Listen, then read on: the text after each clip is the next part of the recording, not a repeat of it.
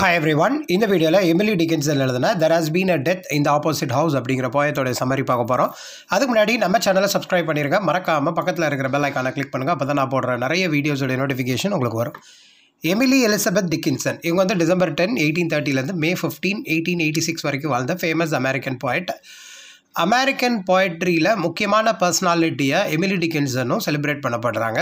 So இவங்களுடைய poems பற்றி பார்த்தீங்க அப்படின்னா ஒரு தௌசண்ட் செவன் ஹண்ட்ரட் போயம்ஸ்க்கு மேலே இருக்குங்க. ஸோ எதுக்குமே டைட்டில்லாம் கிடையாது. ஸோ எப்படி கன்சிடர் பண்ணாங்க அப்படின்னா அவங்க எழுதின போயத்துடைய ஃபர்ஸ்ட் லைனே போயமுடைய டைட்டிலாக அப்புறம் பப்ளிஷ் பண்ண ஆரம்பித்தாங்க ஸோ அதே மாதிரி தான் இந்த போயத்துக்கும் கூட. இந்த போயத்தோடைய டைட்டில் பார்த்தீங்க அப்படின்னா அந்த போயத்தோடைய ஃபர்ஸ்ட் லைன் தான். There has been a death அப்படிங்கிற மாதிரி. அதாவது இந்த ஆப்போசிட் ஹவுஸ் ஸோ அந்த ஃபஸ்ட்டு லைனே டைட்டிலாக வச்சாச்சு.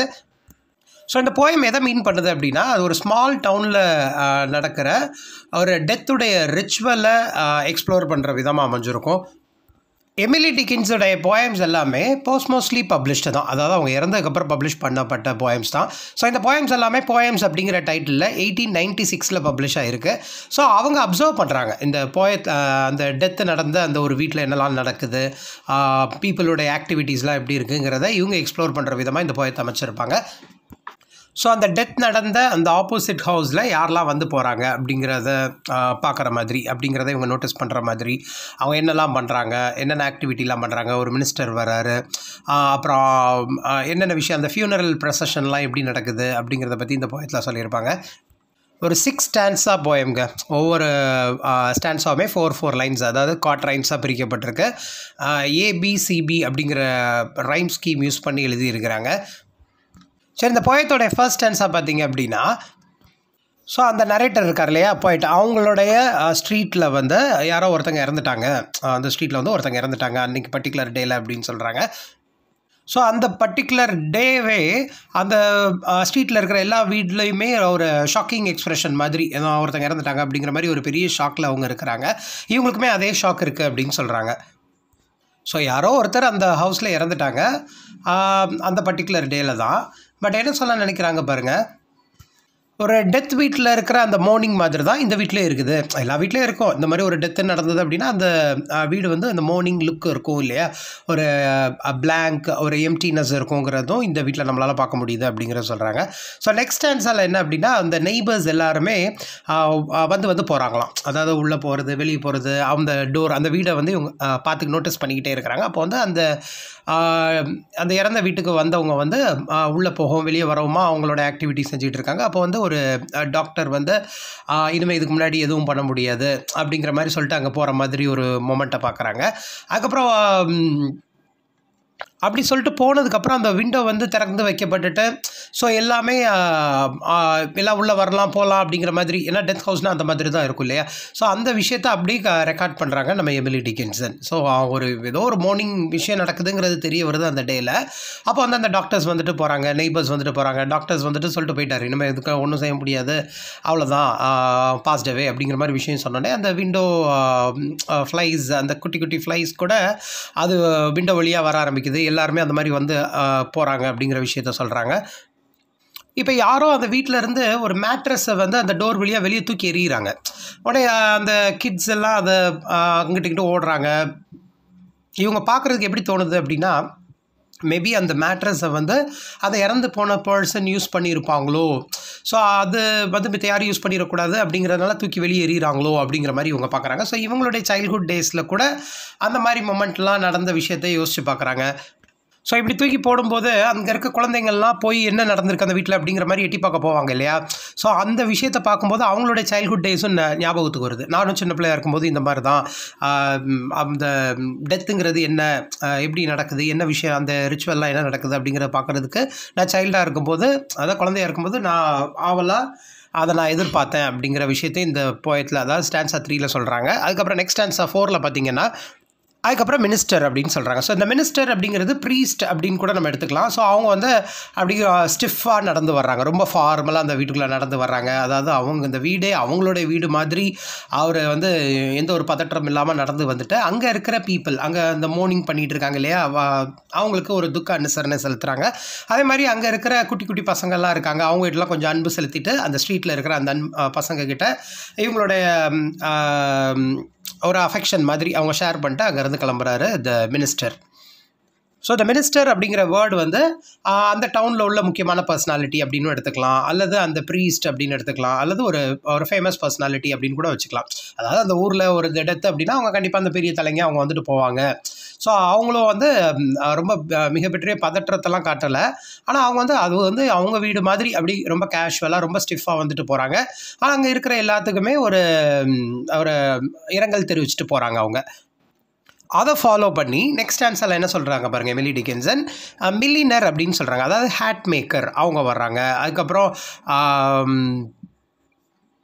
அதுக்கப்புறம் மார்டிஷியன் மார்டிஷியன் அப்படின்னா அந்த இறுதி சடங்கு செய்கிறவங்க அவங்க தான் அந்த ஃபியூனரலில் முக்கியமான நபர் இல்லையா? அவங்கெல்லாம் வந்து போகிறாங்க அவங்கெல்லாம் அவங்களோட ஆக்ஷன்ஸ் எல்லாம் சொல்கிறாங்க அவங்களாம் என்ன பண்ணுறாங்க அவங்கெல்லாம் வந்து வந்து போகிறாங்க அந்த டெத் ஹவுஸ்க்கு வந்து போகிறாங்க அந்த டெத் பர்சன் இறந்து அந்த வீட்டுக்கு வந்து போகிறாங்க அப்படிங்கிறத சொல்கிறாங்க ஸோ அப்படி அந்த டெத் பர்சனை அந்த ஹார்ஸ் காட்டில் வச்சதுக்கப்புறம் அந்த ஃபியூனரல் ப்ரொசஷன் ஸ்டார்ட் பண்ணுவாங்க இல்லையா? அப்போ வந்து கம்ப்ளீட்டாக ஒரு டார்க் பரேட் அப்படின்னு சொல்லுவாங்க. டார்க் பரேட் அப்படின்னா ஒரு கிரிம் ப்ரொசஷன் ரொம்ப சேடாக எல்லாருமே ரொம்ப அப்படி துக்கத்தோடு இருக்கிற அந்த மொமெண்ட்டை எமிலி டிக்கின்சன் பார்த்து அந்த போயத்தில் எழுதுகிறாங்க அதுக்கப்புறம் அந்த லாஸ்ட் ஆன்சர் எல்லாம் சொல்கிறாங்க பாருங்கள் கம்ப்ளீட்டாக எல்லாமே அப்படி வரிசையாக ஒரு லைன் மாதிரி ஃபார்ம் பண்ணி போகிறாங்க எல்லா அந்த கேரேஜஸ் எல்லாம். அப்படி அந்த ஃபியூனரல் ப்ரொசஷனில் ஒன் பிஹைண்ட் அதர் அவங்களுடைய ரிலேட்டிவ்ஸ் அவங்க வந்திருப்பாங்க இல்லையா? அவங்கெல்லாம் ஒரு லைன் மாதிரி ஃபார்ம் பண்ணி அப்படி ரொம்ப அப்படி சைலண்ட்டாக ஒரு ஒரு சேட் ப்ரொசஷன் நடக்குது அந்த இடத்துல.